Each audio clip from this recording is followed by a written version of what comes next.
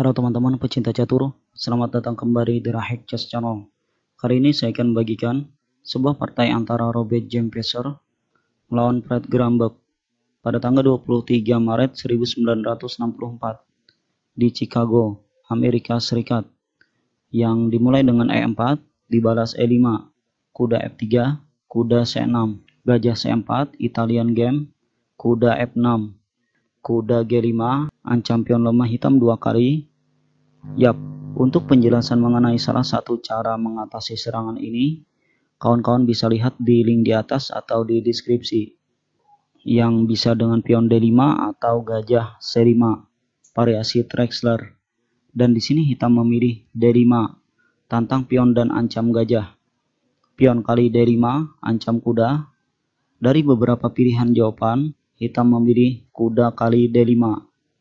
Nah, di sini sering kita melihat dan mungkin mempraktekkan jawaban kuda kali F7. Bentuk serangan Fred Leper. Lalu diteruskan dengan menteri F3. Skak. Dan ancam kuda dua kali. Tetapi untuk partai ini, putih menunda langkah itu dan memilih jawaban berbeda dengan D4. Ini yang disebut dengan Loli attack.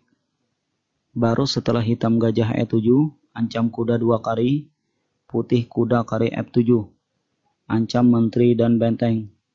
Pastinya raja makan, lalu menteri F3, skak, dan ancam kuda yang terpin dua kali. Raja E6, bantu jaga kuda, kuda C3, tambah tekanan untuk kuda. Gajah B4, pin kuda, dan Piser gajah kali D5 skak Raja D6 gajah kali C6 dan hitam gajah kali C3 skak. Untuk mendapatkan tempo dengan langkah putih selanjutnya yaitu pion makan gajah. Hitam juga pion makan gajah lalu gajah A3 skak.